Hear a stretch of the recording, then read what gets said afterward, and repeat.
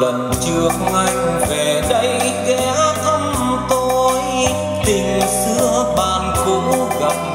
đêm ấy mưa rơi tách cà phê ấm môi.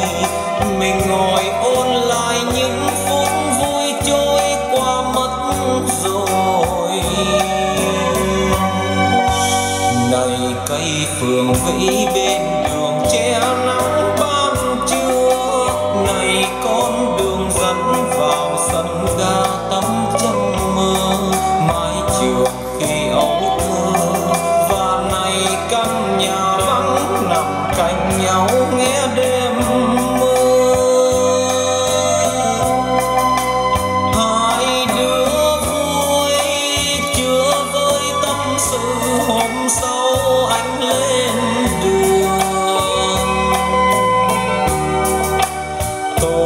the.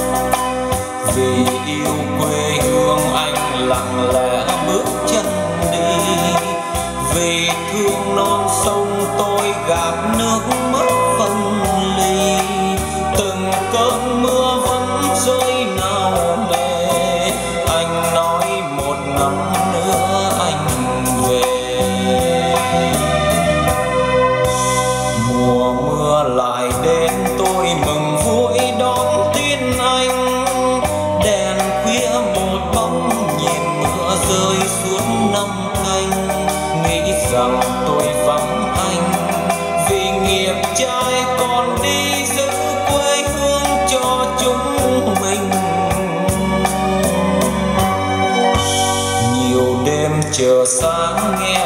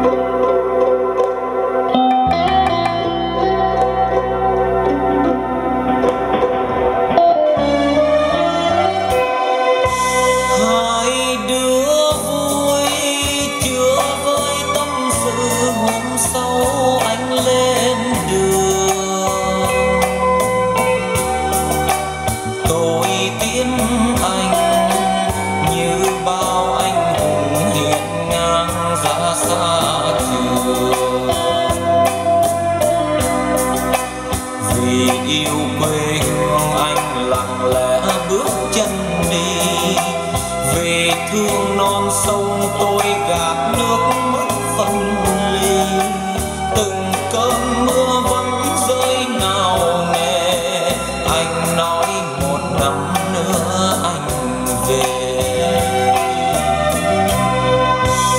Mùa mưa lại đến, tôi mừng vui đón tin anh. Đèn khuya một bóng nhìn mưa rơi xuống năm canh. Nghĩ rằng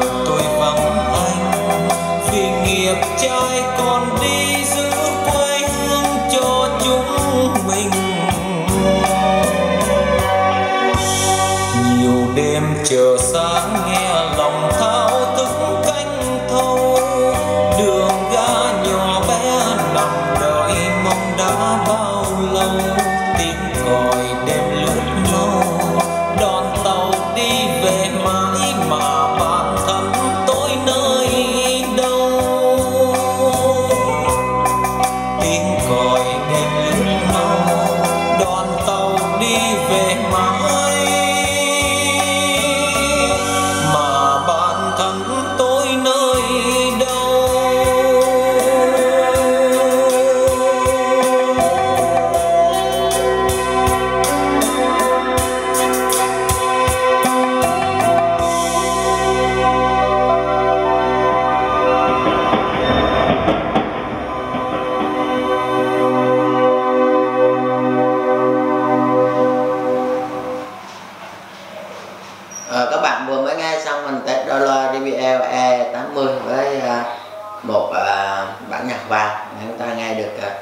chất âm của nó thì cũng rất là tuyệt vời.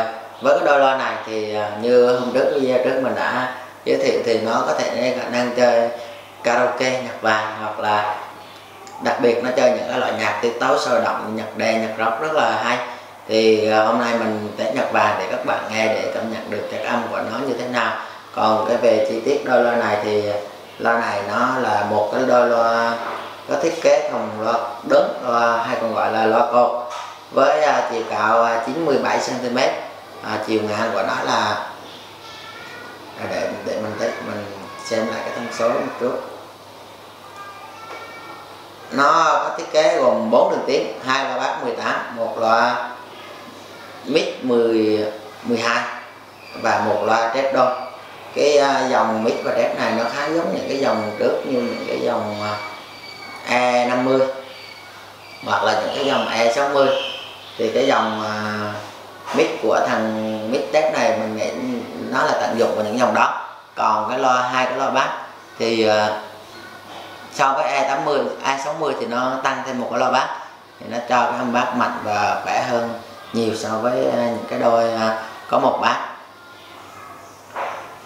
Loa này có chiều cao là 94 chiều ngang là 25 và chiều sâu là 32 nha các bạn nó nó nặng là 16,3 kg mỗi loa.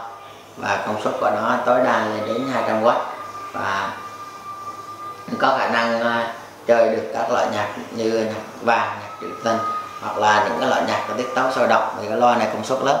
Và thỉnh thoảng chúng ta có thể lôi ra karaoke được. Ok như vậy là mình đã hoàn thành cái video này. Video này thì để mình test nhạc vàng để các bạn nghe thử thôi còn các bạn nào muốn chi tiết hơn mình à, có cái một video trước mình đã đánh giá về đôi loa JBL E80 này rồi.